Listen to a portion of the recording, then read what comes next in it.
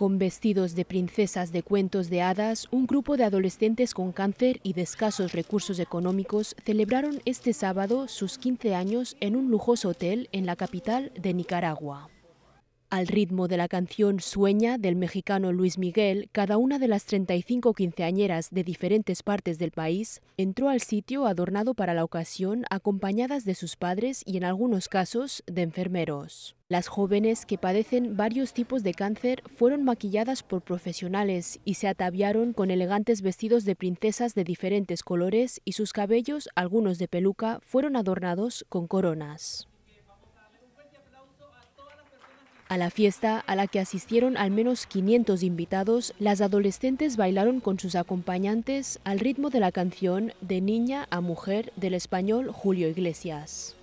Según datos de la Asociación de Madres y Padres de Niños con Leucemia y Cáncer, 250 casos nuevos de niños con cáncer son diagnosticados cada año en Nicaragua y más del 70% de estos sobrevive después de ser tratado.